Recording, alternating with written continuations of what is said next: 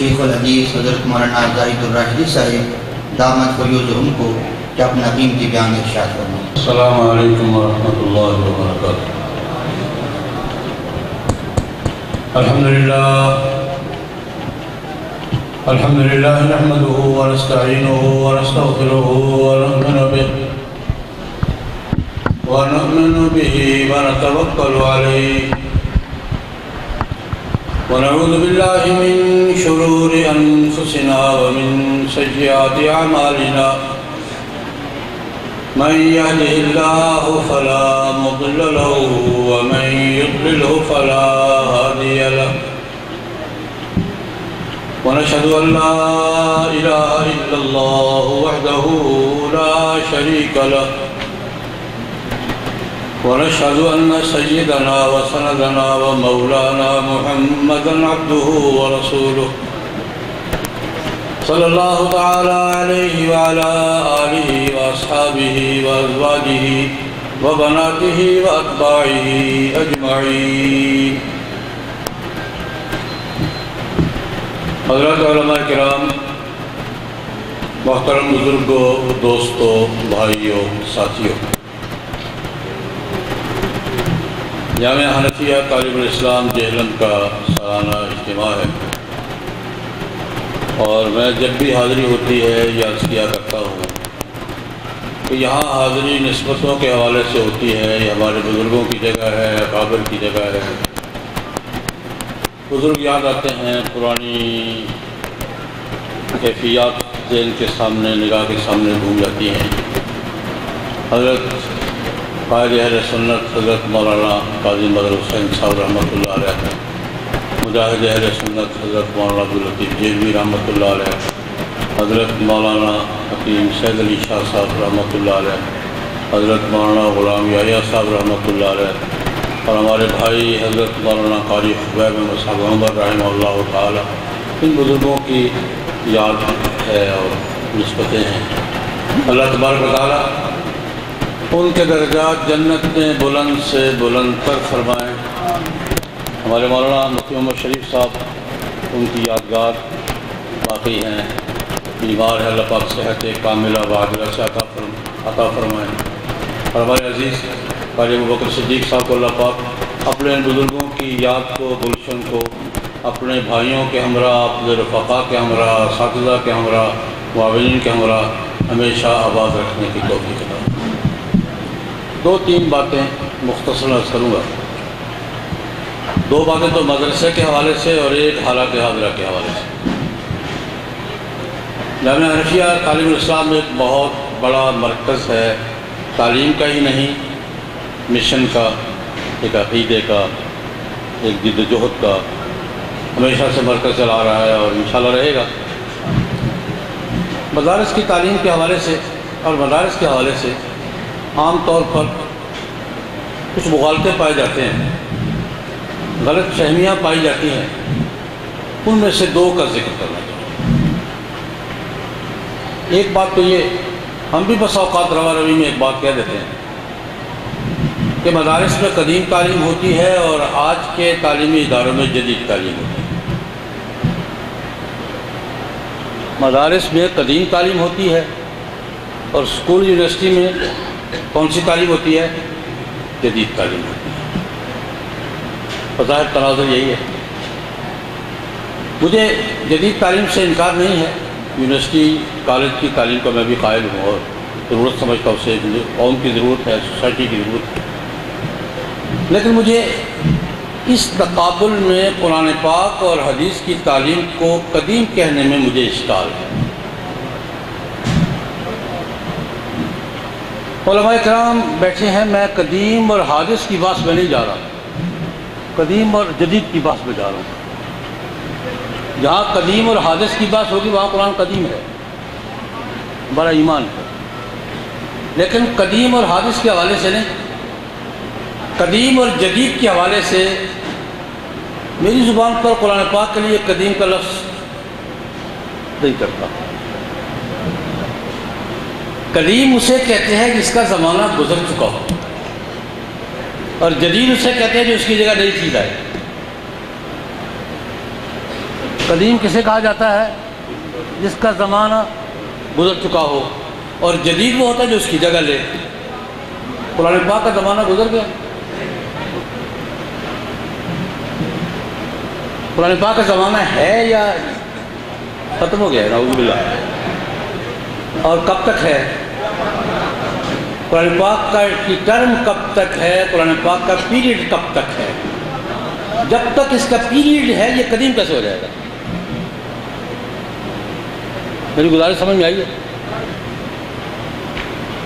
جب تک اس کا پیریڈ باقی ہے، دیکھیں، پاکستان میں دستور نافذ ہوئے، چھپن کا ہوا، باسٹھ کا ہوا، تہتر کا ہے۔ وہ تو ختم ہو گئے، اس لیے قدیم دستور ہیں۔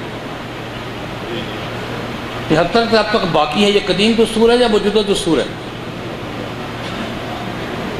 تورات کو آپ قدیم کہہ لیں، انجیل کو قدیم کہہ لیں، زبور کو قدیم کہہ لیں، قرآن پاک قدیم نہیں ہے۔ قرآن پاک کل بھی تازہ تھا، آج بھی تازہ ہے، اور کل قیامت تک کیا رہے گا؟ تازہ رہے گا۔ قرآن پاک جب صفا کی پہاڑی پر نازل ہونا شروع ہوا تھا، اس وقت سے لے کر جب قیامت سے پہلے آخری نشانی کے طور پر قرآن پاک کے اورات سے الفاظ اٹھا لیے جائیں گے، تب تک قرآن پاک کا زمانہ ہے، قرآن پاک کا پیریڈ ہے اور قرآن پاک کو قدیم جدید کے حوالے سے قدیم کہنا مجھے تو اچھا نہیں لگتا، پتہ نہیں بھائی کلام کیا فرماتے میں اس ایک قدم آگے بڑھوں گا۔ اگر تقابل کرنا ہے تو پھر تقابل ذرا تھوڑا سا اور تھوڑا سا کر لیا جائے۔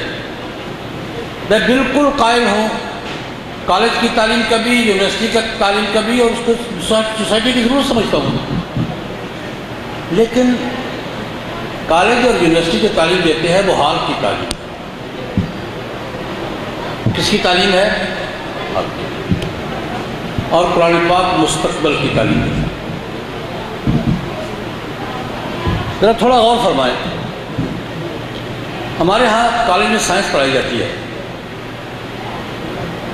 جو سائنس آج پڑھائی جاتی ہے، سو سال پہلے تھی، سو سال بعد ہوگی۔ حال کی ہے۔ ریاضی پڑھائی جاتی ہے۔ ریاضی سو سال پہلے کی ریاضی اور تھی۔ اور سو سال بعد کی اور ہوگی۔ آج کی ریاضی، حال کی ریاضی۔ ہے ٹیکنالوجی پڑھائی جاتی ہے۔ آج سے سو سال پہلے کی ٹیکنالوجی اور تھی۔ آج کی ٹیکنالوجی اور ہے اور کوئی ضروری نہیں ہے کہ پچاس سال بھی یہی بعد بھی یہی ٹیکنالوجی باقی رہے۔ آج سے سو سال بعد کی ٹیکنالوجی اور ہوگی۔ اس لیے اگر تقابل کرنا ہے تو یہ ہے کہ آج کی تعلیم میرے اسکول میں، میرے کالج میں، میرے یونیورسٹی میں جو تعلیم دی جاتی ہے یہ حال کی تعلیم ہے، مستقبل میں اس تعلیم کا باقی اس شکل میں رہنا ضروری نہیں ہے۔ تو یہ بات ٹھیک ہے یا نہیں؟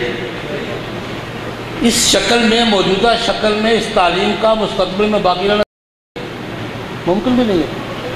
لیکن قرآن پاک آج سے ہزار سال پہلے کا بھی تھا، اسی شکل میں۔ آج بھی ہے، اسی شکل میں۔ اور اگر ہزار سال اور ہیں، باقی اللہ کو پتہ ہے۔ تو ہزار سال بعد کا بھی اسی شکل میں یہی رہے گا۔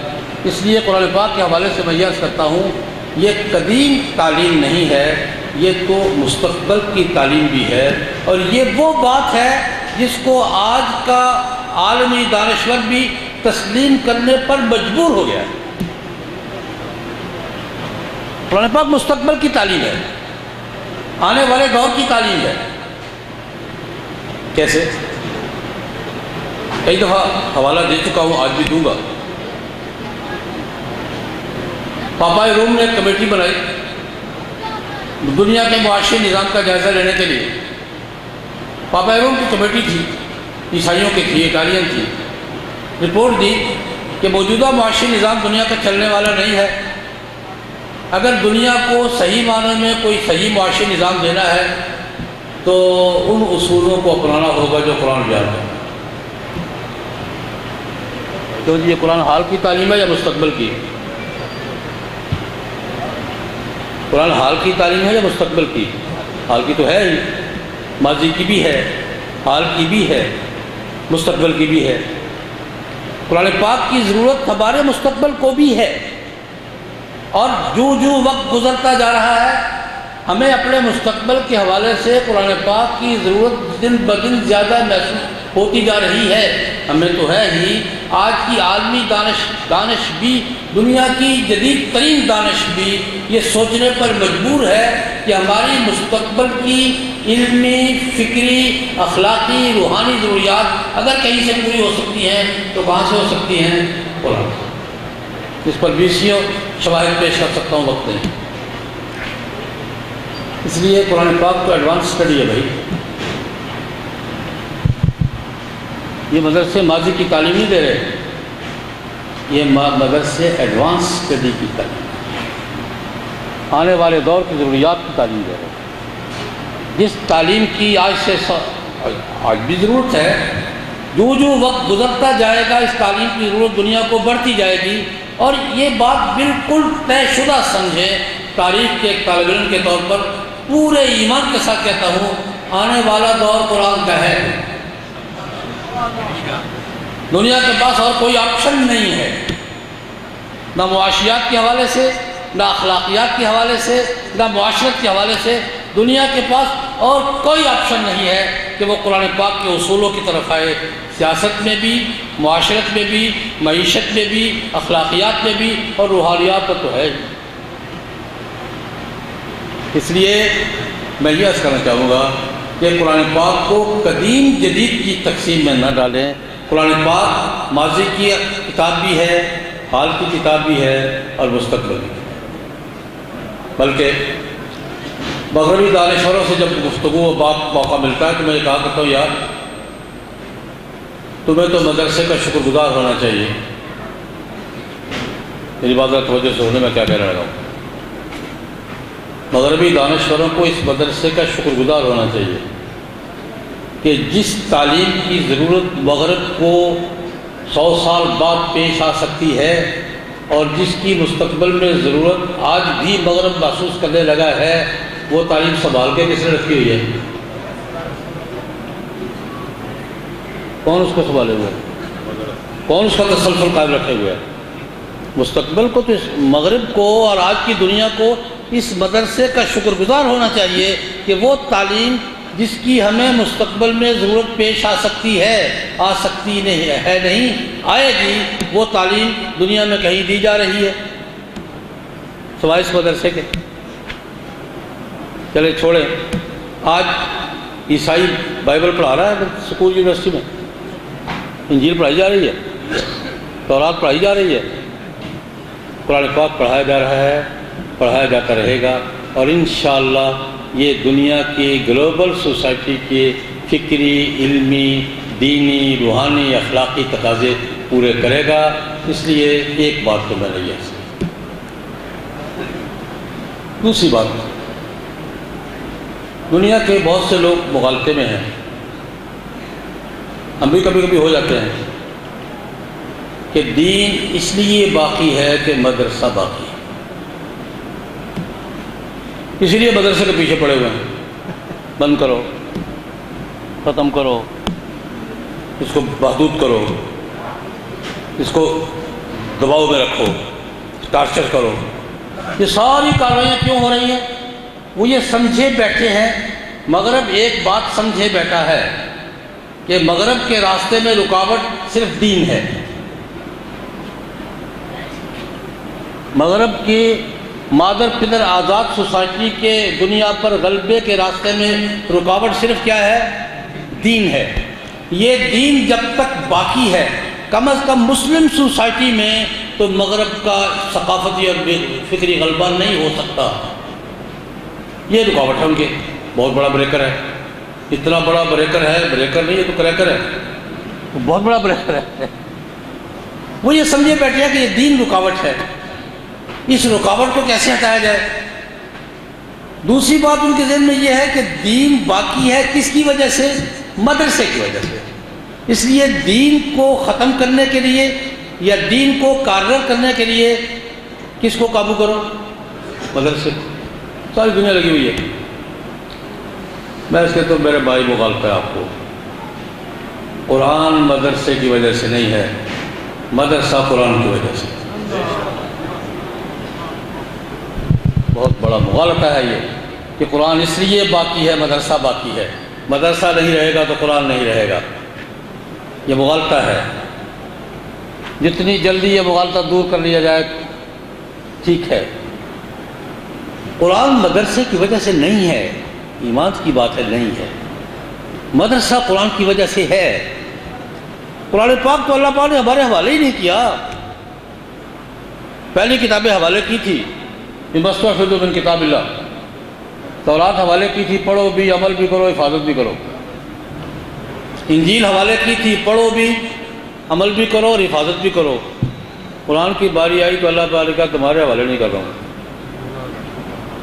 جانتا ہوں تم کون ہو۔ تورات کی بات تھی، انجیل کی بات تھی، زبور کی بات تھی۔ تو قرآن پاک نے کیا کہا؟ بے وسط بن کتاب اللہ۔ ان سے تورات اور انجیل اور زبور کی حفاظت کا تقاضا کیا گیا تھا، نہیں کر سکے۔ قرآن پاک کی باری آئی تو اللہ پاک نے یہ نہیں کہا کہ تمہارے حوالے کر رہا ہوں۔ کیا کہا؟ اس کی حفاظت کا ذمہ دار کون ہے؟ میں ہوں۔ انا نحن نزلنا الذکر وانا له لحافظون۔ اور یہ چیلنج کرتے کیا قرآن پاک نے؟ قرآن پاک کے دو چیلنج ہیں۔ آج بھی قائم ہیں۔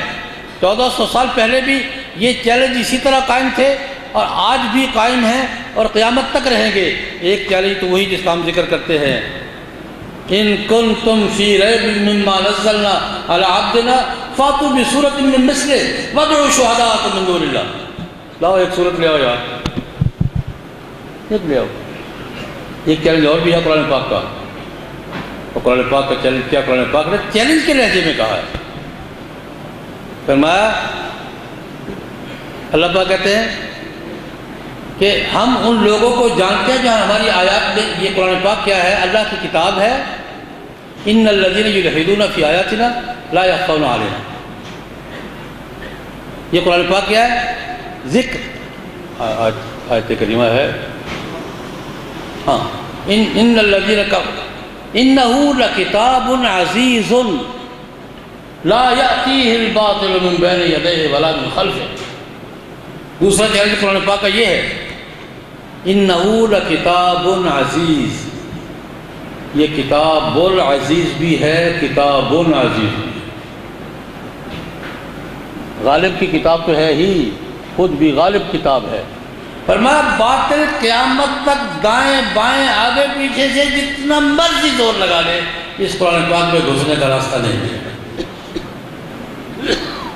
اللہ پاک نے قرآن پاک کی حفاظت کی ذمہ داری خود اٹھائی ہے۔ کر رہا ہے، کر رہا ہے نہیں کر رہا؟ یہ قرآن پاک کا اعجاز نہیں ہے۔ یہ اللہ پاک کا حفاظتی سسٹم نہیں ہے۔ تفصیلات میں نہیں جاؤں گا۔ آج بھی دنیا میں کس کتاب کے سب سے زیادہ حافظ ہے؟ کسی اور کے ہیں بھی۔ اور قرآن پاک کے کتنے ہیں؟ پانچ سال پہلے یہ ایک رپورٹ میں یہاں بھی ذکر کی تھی، کیا کرتا ہوں۔ ایک امریکی ادارے نے سروے کیا اور کہا قرآن پاک کے حافظ تیرہ ملین ہیں۔ ایک کروڑ تیس لاکھ، کیا خیال پانچ سال میں کم ہوئے ہوں گے، زیادہ ہوئے ہوں گے؟ ڈبل تو یقیناً ہے۔ ڈبل تو یقیناً ہے۔ اس دور میں اللہ پاک نے کہا اس کی حفاظت میں کر رہا ہوں۔ یہ میرے ذمہ ہے۔ قرآن تو ہے اور قرآن پاک رہے گا۔ کبھی کبھی سوچتا ہوں، ایک دفعہ اللہ پاک کے اپنے نظام ہے، وہ بے نیاز ہے۔ لندن میں، انڈیا آفس لائبریری میں جانے کا اتفاق ہوا۔ حضرت مولانا سید نفیس الحسنی شاہ صاحب رحمۃ اللہ علیہ، میں ان کے ساتھ تھا۔ بڑے بعض اوق آدمی تھے بڑے بعض اوق بزرگ تھے۔ کتابی ذوق تو بہت بلند تھا ان کا۔ ویسے بھی بڑے آدمی تھے۔ تو وہاں قرآن پاک کا ایک نسخہ دیکھا۔ قرآن پاک کے اوریجنل چار پانچ نسخوں میں سے ایک، مصحف عثمانی میں نے خود ہاتھوں کو اٹھا کے دیکھا اور یہ خود پڑھا میں نے، کتب ہو عثمان اللہ عفان۔ یہ قرآن کس نے لکھا ہے؟ حضرت عثمان نے لکھا ہے۔ اور اس پر بادشاہوں کی موریں دیکھی میں نے سلطان سلیم اول کی، اس پر جہانگیر کی، شاہ جہاں کی، صفیوں کی موریں بھی دیکھی۔ بادشاہوں کے پاس ہوتا ہوا آیا ہے۔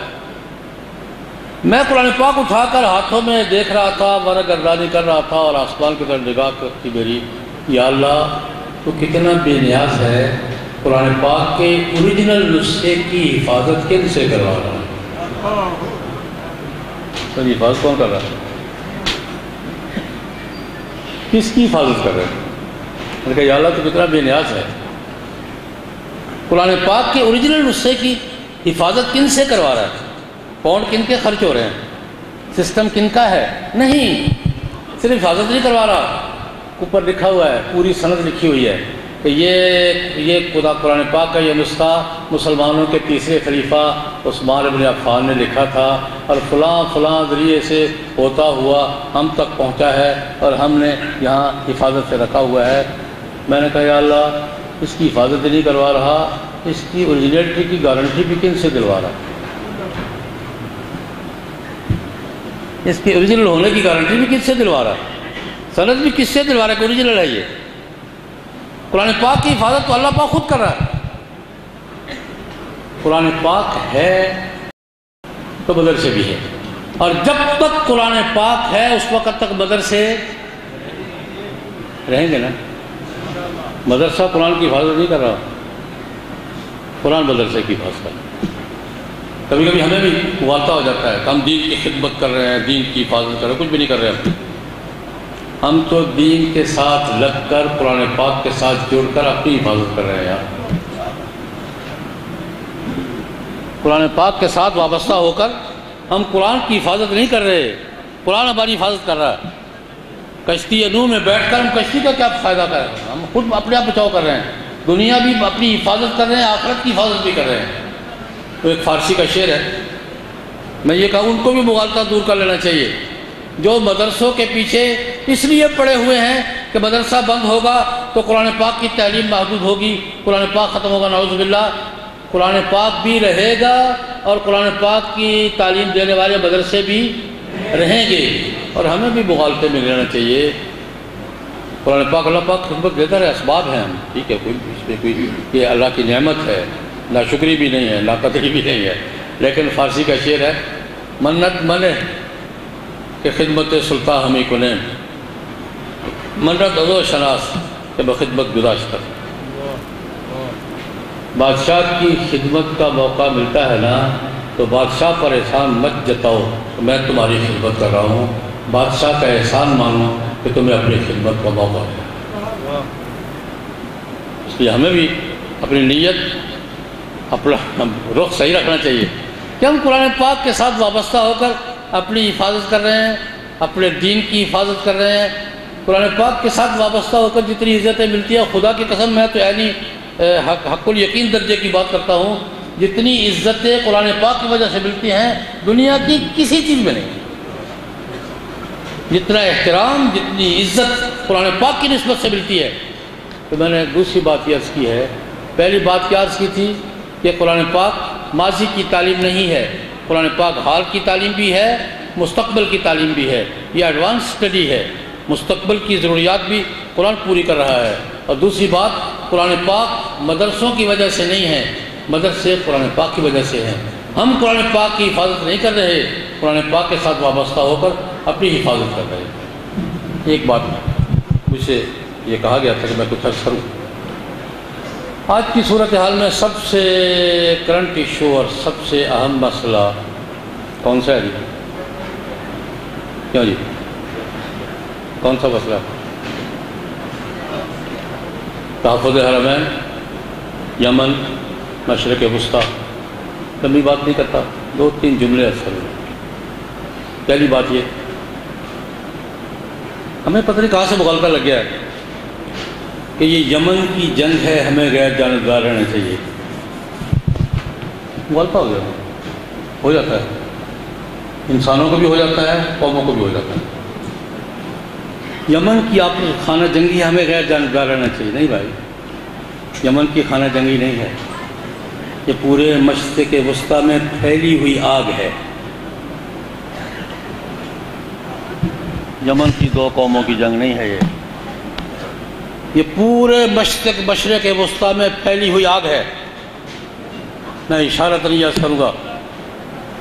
گزشتہ چالیس سال سے سعودیہ کے گرد جو گھیرا ڈالنے کی کوشش ہو رہی ہے، شام میں، عراق میں، بحرین میں، لبنان میں اور اب یمن میں، یہ یمن کی جنگ ہے؟ یہ یمن کی جنگ ہے؟ یہ حرمین شریفین کے چاروں طرف سے جو گھیرا ڈالنے کی کوشش ہو رہی ہے اور گھیرا ڈالا جا چکا ہے۔ یہ یمن کی جنگ نہیں، یہ حرمین شریفین کا ماحول تبدیل کرنے کی جنگ ہے۔ یہ حرمین شریفین کا ماحول تبدیل کرنے کی جنگ ہے۔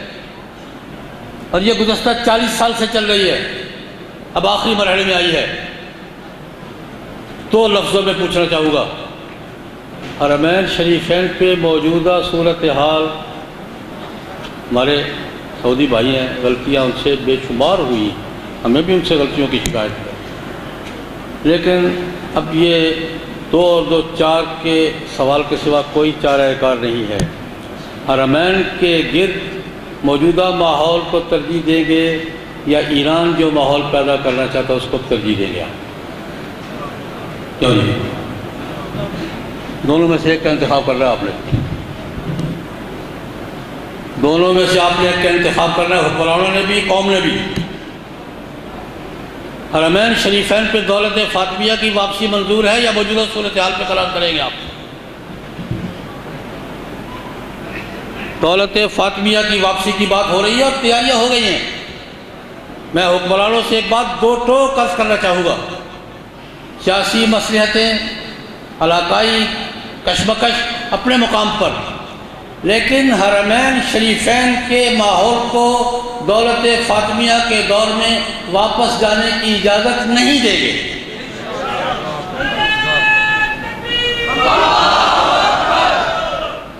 ہمیں حرمین شریفین میں سلفی بھی منظور ہیں شوافے ہو تب بھی منظور ہیں۔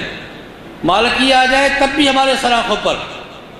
ہمبلی ہو تمہارے سلاخوں پر۔ ظواہر ہوں ہمارے سلاخوں پر۔ لیکن حرمین شریفین کے ماحول میں ایران کا کنٹرول ہم منظور نہیں کریں گے، نہیں برداشت کریں گے۔ یہ آپ کو دو ٹوک فیصلہ کرنا ہوگا۔ یہ یمن کی جنگ نہیں ہے، یہ مشرق وسطیٰ کی وہ کشمکش ہے جو حرمین شریفین کے ماحول کو اور حرمین شریفین کے ارد گرد کی صورتحال کو تبدیل کرنے کے لیے چالیس سال سے جاری ہے۔ اب آخری مراحل میں ہے۔ آپ کو فیصلہ کن کردار ادا کرنا ہوگا؟ اور انشاءاللہ العزیز، ہمارے حکمران جتنی مرضی پھاڑ پچھاڑ کر رہے ہیں، امت مسلمہ حرمین شریفین کی حفاظت کے لیے متحد ہے۔ اور حرمین شریفین کے حوالے سے کسی غلط کار کے غلط عزائم کو پورا کرنے کی اجازت نہیں۔ ہے